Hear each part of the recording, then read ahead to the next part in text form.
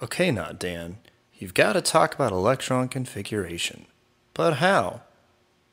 At least I know the intro music will go here.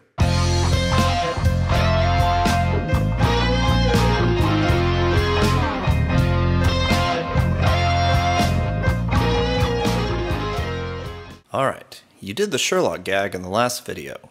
How are you going to top that? You already did the British documentary host thing. Well, let's at least figure out the information that needs to be in the video.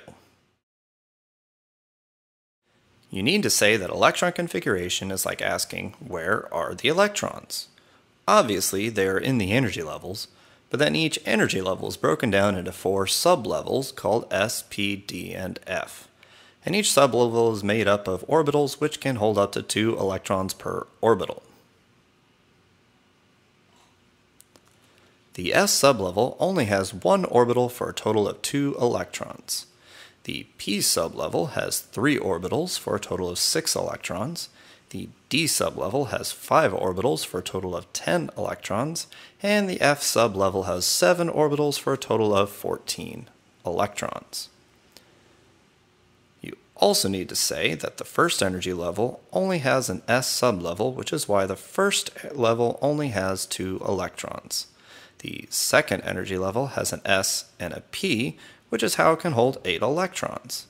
The third energy level has an S, a P, a D, so it can hold 18 electrons. The fourth energy level has the full SPDF, so it can hold 32 electrons, and the fifth level also has the full SPDF for 32 electrons. The sixth and seventh levels could go that far, but there aren't enough elements to fill it out completely.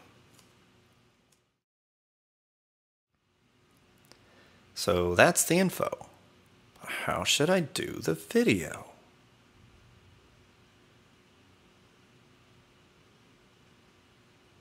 Wait.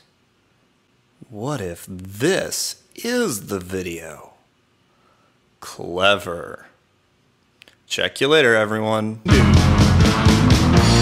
So